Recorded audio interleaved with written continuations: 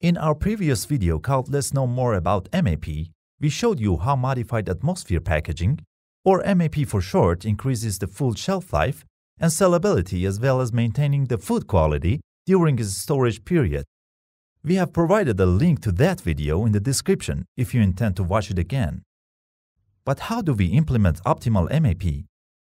This is what we aim to answer in this video. So please stay with us to the end to find out more about the details and equipment of an ideal MAP system. If you are watching this video on YouTube, please press the subscribe button and the bell to receive notifications of new videos by ViVANGAS. This simple schematic gives an overview of the whole structure of an MAP system. As you can see, it is composed of different parts. To better understand this structure, let's focus on each part of this system one by one. At the very beginning, there are the gas sources. By gas, we mean nitrogen, carbon dioxide, and of course, oxygen. These gas sources can be in the form of cylinders, cryogenic tanks, or in some cases, gas generators. To start the process, these gases get transferred into the gas mixer to create the desired mixture of nitrogen, carbon dioxide, and oxygen for different types of foods. To achieve this, we can adjust the gas mix percentage using different methods. For example, using mechanical dials on the mixer or using the electromechanical mixing valves. As you can see, these types of mixers can be connected to a programmable logic controller or PLC, so they can be controlled via electrical signals. The next component is the gas analyzer, which could be integrated into the gas mixer or could be used as a standalone unit for monitoring the exact real-time percentages of the gases. Equipped with measurement sensors, the analyzer will work in conjunction with the mixer, and in case of any anomalies in the gas mixture, it will inform the operator through activating an alarm, or will directly shut down the whole or a specific part of the system. Of course, the analyzer can be connected to a PLC as well and be integrated into the main control system. After achieving the perfect mixture, the gas mixture at the required pressure will enter the next step, which is the packaging step. The food product can be packed with different techniques depending on the machine we use. The first method is called gas flushing.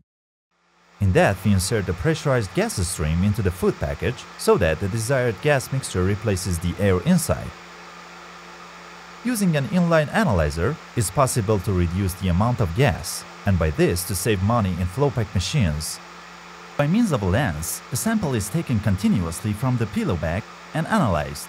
As long as the oxygen value is below the set limit value, the amount of the supplied protective gas is reduced. If the oxygen content approaches the limit value, the protective gas quantity is automatically increased. The second method is called compensated vacuum. In this method, the machine first removes the air inside by pulling a vacuum on the atmosphere within the package and then breaks the vacuum with the desired gas mixtures. Finally, we have our food packed. But wait, it is not the end.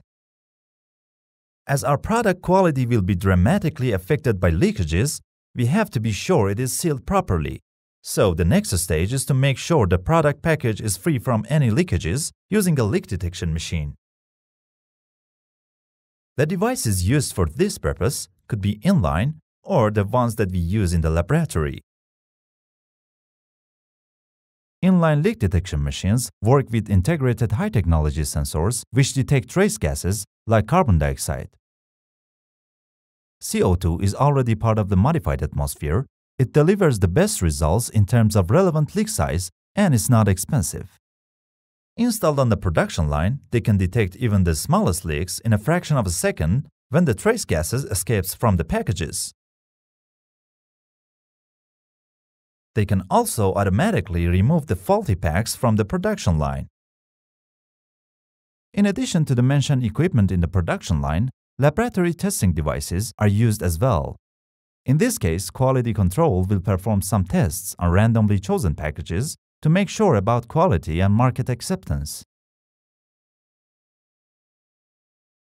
Along with some other accessories like CampPiercer, tabletop or portable gas analyzers could be used for analyzing the gas concentration inside different kinds of packages. Portable analyzers are highly applicable and very easy to use. They can be used for analyzing the gas within the laboratory or directly on the production line. On the other hand, tabletop analyzers can have other options like auto-calibration long life measuring cells, and more communication ports. One of the most common methods for package leak detection is using a vacuum chamber. Two kinds of tests could be performed with a vacuum leak detection machine in the laboratory. The first one, as you see, is a leak test inside the water. So, when there is a leak, you can see that clearly through small bubbles coming out of the package. The second test is called the cargo test and its purpose is to check the package resistance in the situation of high altitude.